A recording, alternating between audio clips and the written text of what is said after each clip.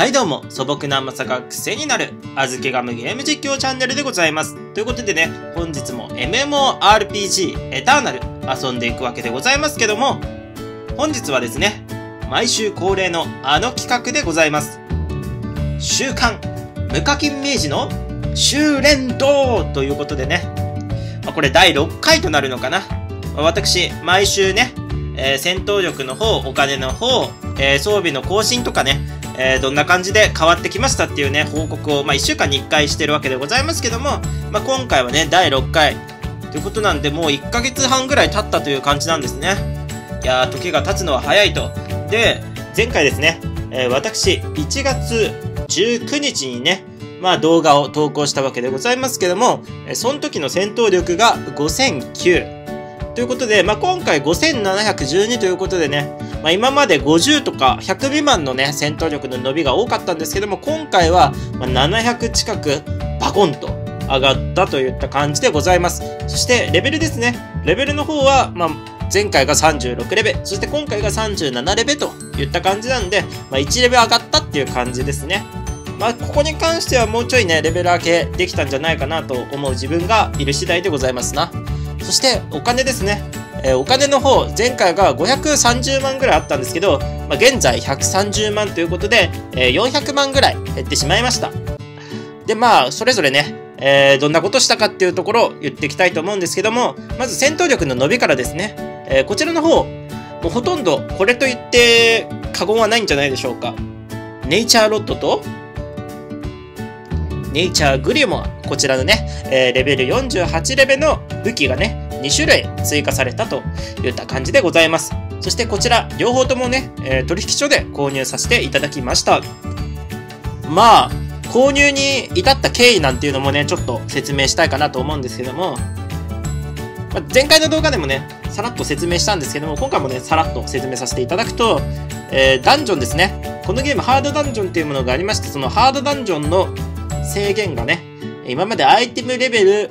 50レベル以上っていうね、アイテム平均レベルっていうのがこの戦闘力の下に書いてあるんですけど、ここが50以上じゃないと入れませんよというふうに書かれていたんですけども、そちらの制限の方が撤廃されたということで、ハードダンジョンに必要なのが戦闘力、そして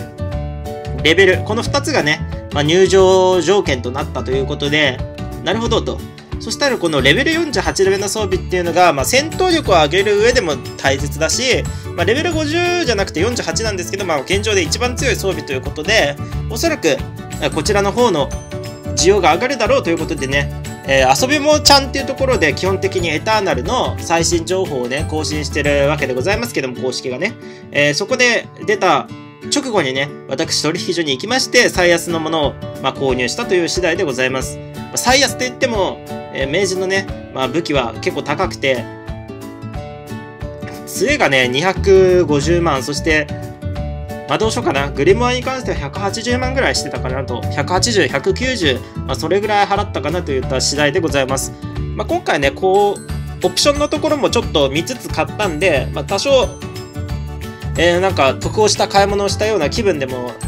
あるんですけども、まあ、今後ね、こちら、えー、武器とかね、あとはまあレベル2防具とか、ああいうところの値段がどういう風に移動していくとか、まあ、少しばかり楽しみでございますね。まあ、なんで、まあ、お金の減りに関しては、この装備2つを買ったというところがでかかったんじゃないかな。で、まあ、戦闘力、このね、エピックランクっていうのがやはり影響力が高くて、戦闘力が、まあ、700、700全部これで上がってるとは言わないけども、それに準ずるぐらいには上がったということでねやはり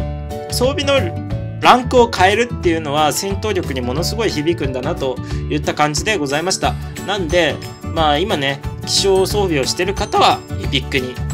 マジックランクの人は気象にまあ上げていくのがいいんじゃないかなと思っております。はい。そしてまあレベルの方なんですけどもスライム狩りをした時にね、私、放置狩り設定について、まあ、学びまして、まあ、放置狩り設定については、そのスライム狩りの動画で話してるんでね、興味ある方は、そちらの方行ってもらえればいいんですけども、これがね、意外といろんなところで役に立ちまして、例えばですね、このエリア討伐、まあ、エリア討伐は私ね、基本的には放置してしまうことが多い。だからその場所に行ったら、まあ、狩りをしてくれる。このね、左のところで、ここか、これで例えばジルの懸念っていうところにこうやって移動するってすると、まあ、そこまでとことこ歩いてでターゲットが入るんで、まあ、ターゲットの間だけは戦ってくれる。だけどその何？必要数を討伐しちゃうと、まあ、基本的に棒立ちをしてしまうことが多かったんですけども、えー、こちらね、えー、放置狩り設定で、まあ、先制攻撃をするように設定をしとくとまあその何？ターゲット数倒し終わった後でも狩りをしててくれるっていうのでまあ時間効率がすごい良くなったかなといった印象でございます。そしてね、まあ、こういった設定をしておいたとしても、例えば、こっちのね、えー、次の目的地に移動するっていうところ、さっきの足マークですね。これを押すと、そちらの方が優先されるということで、なんか道中、雑魚的に攻撃しまくって移動ができないなんていうこともなかったんで、ああ、放置狩り設定はしとくとすごい便利だなと感じた次第でございます。ただね、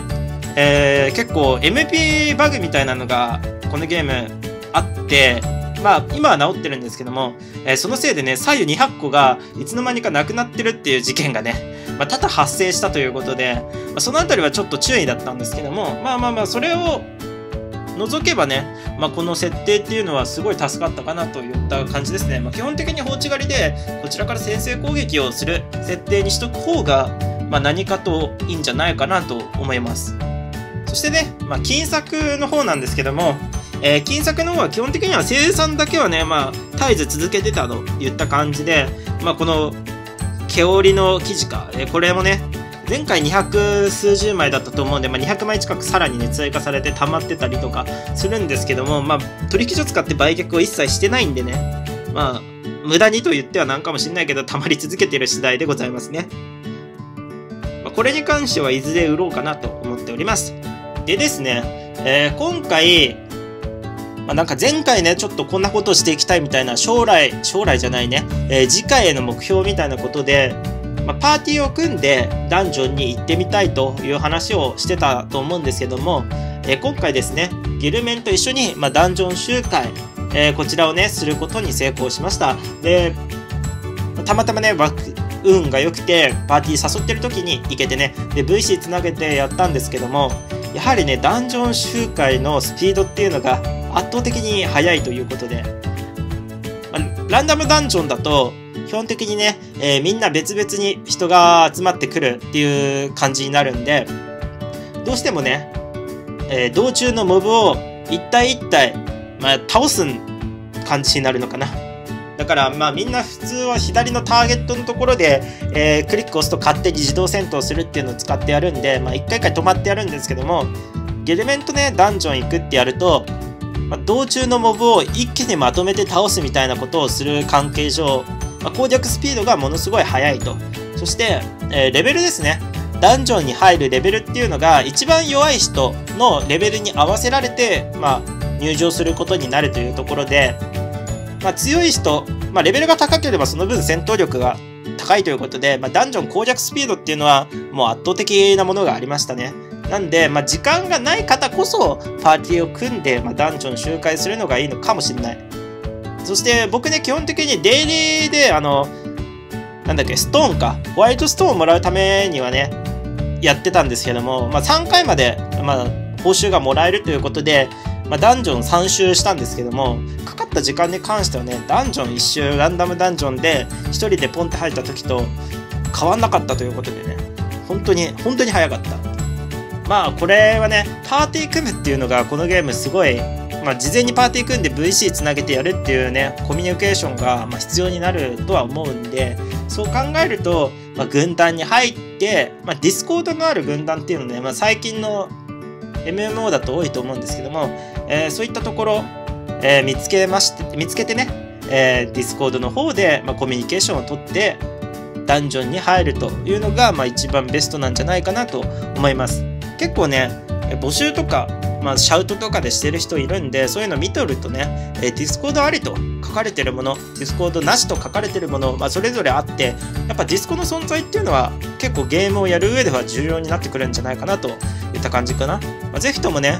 えー、まあ、コミュニケーション取るのが苦手とかディスコってなんだよっつって、まあ、敬遠されてる方いましたらね、まあ、アプリでディスコっていうのをね、調べていただいて、で、それダウンロードしてやると。で、おそらくなんですけど、そういったディスコありのギルドに、ね、入れば、まあ、その、勧誘してる方はね、親切にどうやってやったらいいかとか教えてくれると思うんで、まあ、それに従えば、ま、問題なくできるかなと思います。はい。ぜひともね、か未知なるものへの挑戦っていうのは怖いものだと思うんですけども、まあ、頑張ってね、勇気を出してやっていただければ、かなりね、快適なエターナルライフが送れるんじゃないかなと思います。ということでね、え今回、まあ、この1週間私がどのようなことをしてどのくらい戦闘力とかね上がったかという報告以上になるんですけども、まあ、基本的にはエピックランクの武器っていうのがすごいね戦闘力には響いたかなといった印象でございました高いだけはあるっていう感じだねで今回ねオプションとかっていうのもちゃんと見て選んでて、えー、攻撃熟練とかねえー、武器防御追加ダメージ、まあ、この辺りはね、ちゃんと見た方がいいのかなといった感じでしたね。で、これ、今回武器だけ買ったんですけども、防具とかね、えー、装飾品、えこちらの方もね、まあ、今後変えていかなくちゃいけないなって思うんですけど、こちらの追加オプションで MP 回復っていうのがね、まあ、あるものがあるらしくて、多分装飾品だったのかな。えー、そういうのを装備すると、例えば MP の回復するスピードなのか量なのかが、まあ、どちらにしろ回復速度が増えるということで、ま、そういったものをま買っとくと明治とかで、ま、ビショップとかはいいんじゃないかなといった感じですね。ま、基本的には左右とかね使って回復すると思うんですけども長期戦にはね左右とか向かないんでそう考えると、まあ、そういった回復装備っていうのを、ま狙って購入するとかっていうのもいいのかもしれませんね。まあ、基本的にこの取引所っていうシステムまだね追加オプションで値段が変わるよっていうのが、まあ、そんなに知られて、まあ、知られてるとは思うんですけども、まだ知らない人も多いと思うんで、たまに見てると、あれ、MP 回復ついてるのに、最安の値段で出てるよみたいなことがね、まあ、発生したりするのが、まあ、取引所というシステムなんで、まあ、注意してね、見ていただけると、まあ、面白いんじゃないかなと思います。まあ、転売っていうので言えば、私ね、取引所転売いろいろやってたんですけども、まあ、正直品物に関してはもう最安で出品する人っていなくなっちゃったんで、まあ、安値で買うっていうのが、まあ、非常に厳しいということなんで、まあ、武器とか防具に関してはまだその余地があるのかなというところでね、禁煙策として考えてる方は、まあ、その辺ちょっと注目していただければいいんじゃないかなと思います。はい。そして、まあ私、毎回最後にね、次回への目標ということを言ってたんですけども、えー、今回はですね、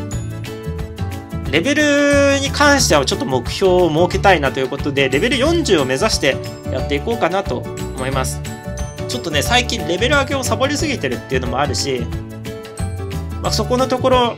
ちょっと追いつきたいなということで、まあ、スライム狩りとかエリア討伐とかね、えー、もうちょい頑張っていけたらいいかな。ま、基本的には、ログイン、僕のね、端末がちょっと弱くてですね、えー、ログインが1時間続くと落ちることとかっていうのが結構多々あって、まあ、やっぱり付きっきりでゲームできない時って放置してることが多いんですけどもそうすると1時間とか2時間とかで落ちて残り2時間、まあ、枯れてないみたいなことがね、まあ、多々発生してたんで、まあ、こまめにチェックしてこまめにログインして放置狩りをしとくっていうことを、まあ、意識してやっていきたいかなと思っております。あとはね意外と生産を忘れがちで多分ね7日間あれば、まあ、実際は今回動画撮ってるの6日間ぐらい経ってるんですけどもおそらく200枚じゃないと思うんですよね。この毛織の数。もう何十回かできたはず。何回か多分ね、1回か2回、えー、生産を忘れてる時があったということだと思うんで、まあ、こちらの方を忘れずにやっていけたらいいかなと思っております。はい。ということで、まあ、以上で今回の動画終わりになるわけでございますけども、いかがだったでしょうかまあ、私ね、エターナルの動画、こういったね、報告系の動画だったりとか、あとはね、えー、強化石100個で一体戦闘力がいくつ上がるのかっていうね、まあ、そういった検証動画、あとはアークロアガチャみたいなね、運試しの動画とか、攻略情報の動画かな。レベルの上げ方とかね、そういった攻略情報の動画、盛りだくさんね、えー、私、配信してますんで、興味がある方はぜひチャンネル登録、高評価してね、私の将来の動画、そして過去の動画も見ていて、見ていっていただければ嬉しいかなと思います。ということで、また次回何かの動画でお会いしましょう。じゃあねバイ。ということでね、動画見てくれて本当ありがとう。まずは右側のチャンネル登録ボタンをクリック。そのまま左側のおすすめ動画ぜひ見てくれよな。あそうそう。高評価コメントも忘れずにね。ということでねまた次回の動画でお会いしましょう。じゃあね。